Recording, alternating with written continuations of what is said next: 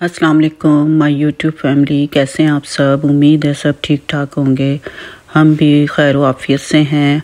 आज मैं आपके लिए रेसिपी लाई हूँ चिकन पुलाव की, जो कि बहुत ही मज़े का बनता है और यकीनन आप लोगों को ये रेसिपी पसंद आएगी।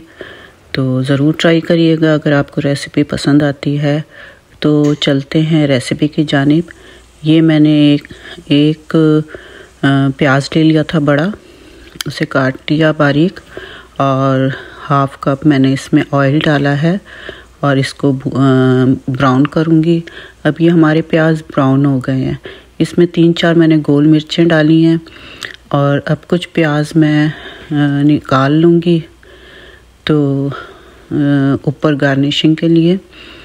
तो देखते हैं, अब आगे। अब प्याज मैं थोड़े से निकाल रही हूँ गार्निशिंग के लिए। इसके बाद इसमें चिकन डालेंगे। अब इसमें चिकन डाल रही हूँ और इसको अच्छी तरह भुनेंगे चिकन को।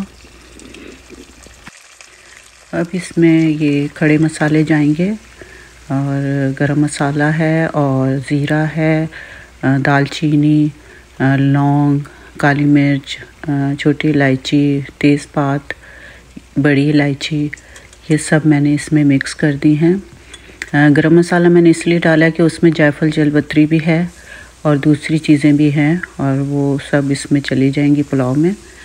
तो इसको अब अच्छी तरह भूनेंगे और साथ ही मैं अदरक लहसुन का पेस्ट भी डालूँगी। ये एक टेबल स्पून मैंने लहसुन अदरक का पेस्ट डाला है। अब इसे अच्छी तरह भून लेंगे और टमाटो पेस्ट भी मैंने डालनी है अभी। अब तीन चार चम्मच मैं टमाटो पेस्ट डालूँगी अंदाज़े से और इसको अच्छी तरह भून लूँगी, फिर उसके बाद इसमें पानी शामिल करेंगे।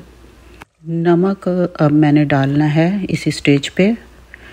एक एक टीस्पून पूरा मैंने डाला था, बाद में हाफ़ टी स्पून और भी डालना पड़ा था। हमने इसमें टमाटो पेस्ट डाला है और साथ नमक डाल दिया है।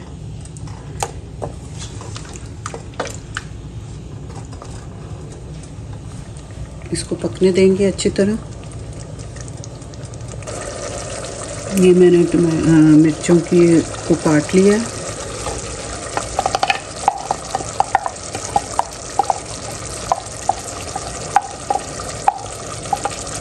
क्योंकि इसमें लाल मिर्चें नहीं डलती तो ये हरी मिर्चें डालनी पुलाव में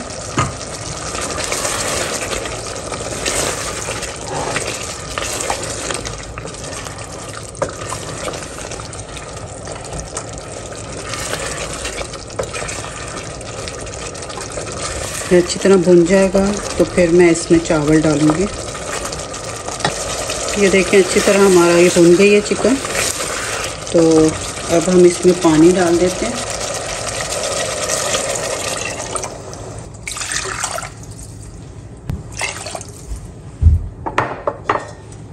मैंने ढाई कप पानी डाला है क्योंकि हमारे दो कप चावल हैं। तो चावल भीगे हुए हैं, इसलिए जो है ना मैंने कम डाला है पानी। जैसे इसको उबाला आता है, हम चावल डाल देंगे। ये देखिए हमारा पानी गर्म हो गया है। पकने लग गया अब हम इसमें चावल डाल देंगे।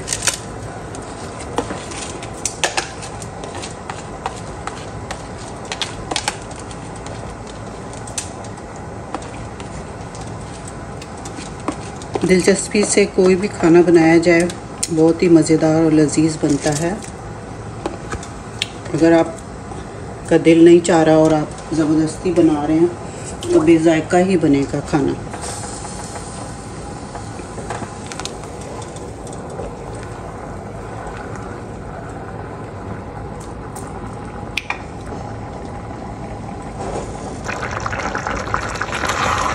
बस थोड़ा सा और पानी खुश्क हो जाए तो हम इसे निका दम पे लगा देंगे।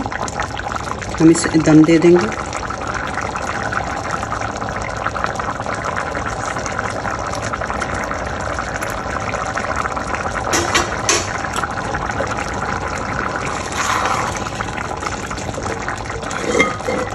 नमक थोड़ा सा कम है।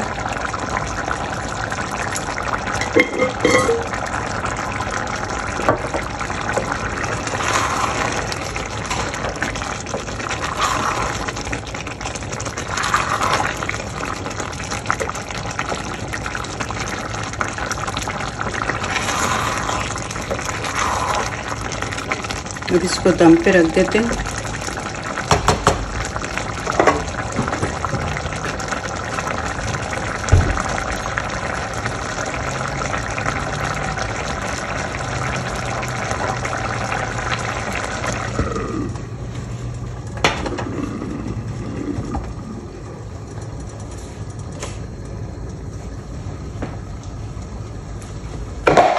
मिलते हैं 10-15 मिनट के बाद।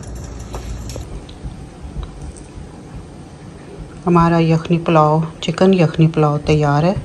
अब इस पे हम गार्निश कर देते हैं, जो मैंने प्याज निकाल के रखे थे, वो डाल देते हैं।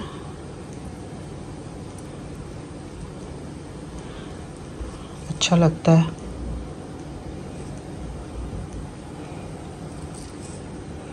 ठीक है।